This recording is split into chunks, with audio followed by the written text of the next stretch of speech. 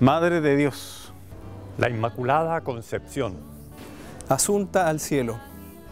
Siempre Virgen. Acompáñanos este próximo 8 de noviembre para dar inicio al mes de María que queremos compartir todos juntos en la fe en el Parque Bicentenario. Te esperamos.